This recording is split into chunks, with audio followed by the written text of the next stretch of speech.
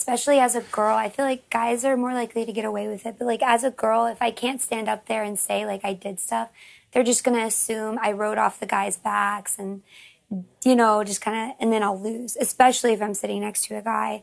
Like, just statistically, like, I'm not to win. So I feel like I need to kind of go for everything that I can because it's to, who knows which ones I can win. You know what I mean? So, like, I probably won't be throwing stuff because I, I'm, if I actually want to end the, win the game at the end, like, I'm going to have to have, like, a repertoire.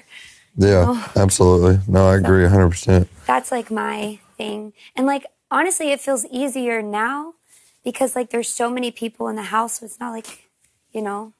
Yeah. There's a there's a lot more people. Sorry, I'm using your bed. There's a lot more people playing, which is good. But that makes it harder to win. It does.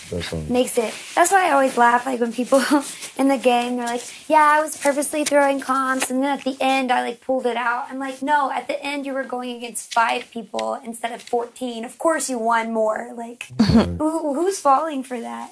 But I think people do fall for that.